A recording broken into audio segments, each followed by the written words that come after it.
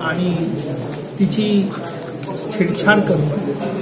म्हणजे तीनशे चोपन्न आउटरीच मॉडेस्टी तीनशे चोपन्न. तीनशे चोपन्न. आणि तीनशे चोपन्न. आणि ते बाल लैंगिक अत्याचार कायद्याच्या कलमाखाली. पोस्को सेक्शन सहा सेक्शन आठ आणि सेक्शन सोळा. आठ सोळा म्हणजे काय? सहा आठ सोळा म्हणजे सोळा. म्हणजे तुम्ही सोळा म्हणजे लहान बालकाला हे करणं शारीरिक हे करणं अत्याचार. करणं त्याबद्दलचं आहे. बाल लैंगिक अत्याचार प्रतिबंधक कायद्या अंतर्गत कलम सहा आठ आणि सोळा. बाराचा ना? सरकारी पक्षाने जे जे पुरावे दाखल केले ते न्यायालयाने ग्राह्य धरले. आणि या घटनेपूर्वी दोन दिवस अगोदर जी घटना घडली होती त्या घटनेचा प्रामुख्याने न्यायालयावरती विश्वास ठेवला. आणि न्यायालयाने हे सांगितलं की यांनी कट कारस्थान केलं होतं. आणि दोन आणि तीनने प्रोत्साहित केलं होतं कटामध्ये सामील होतं. आणि तिला प्राणांतिक जखमा केल्या होत्या बलात्कारच्या वेळेला.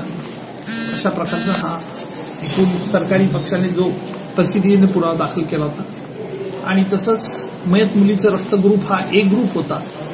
आणि ए ग्रुपचं रक्त हे आरोपी नंबर एकच्या कपड्यांवरती मिळालेलं आहे. याचा अर्थ सामूहिक नाही.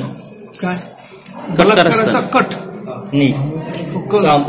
बलात्कार सामूहिक केलेला नाही पण बलात्कार करण्याचा कट होता. कट होता. संधी मिळाली नाही. त्यांना मी असंच म्हटलं होतं. सर आता हे जेवढे कलम आहेत ते सगळ्या कलमांतर्गत तिघांना पण दोषी धरलंय ना? तिघही आरोपींना दोषी ठरलेले सगळे तिघही आरोपी. एकशे वीस ब आणि त्याचप्रमाणे कट करणं. आणि हत्या करणं. या सगळ्यांखाली दोषी ठरवले एकशे वीस एकशे वीस ब खाली दोन्ही शिक्षा आहेत. तीनशे दोन ला जन्मठेप किंवा आहे. शिक्षा आहे. आणि त्याचप्रमाणे एकशे नऊ ला प्रोत्साहन करणं. म्हणजे जी मूळ गुन्ह्याला शिक्षा असेल तीनशे दोन ला ती शिक्षा तिघांना करता न्यायालयाने विचारलं तुम्हाला कोणती शिक्षा द्यावी?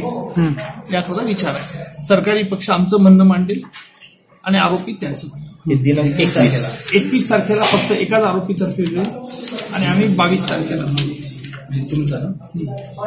आज खोपडे नव्हते. आज खोपडे पण सर एकवीस तारखेला निकाल नाही लागणार का एकवीस तारखेला ते आर्ग्युमेंट करतील बावीसला आम्ही करू. बावीसला होईल तिन्ही आरोपींचं एकवीस तीन नंबर युक्तिवाद पण तिन्ही तर्फे म्हणजे एक तीन नंबर तर्फे जे आहेत आहेत ते एकवीसला करणार आहे.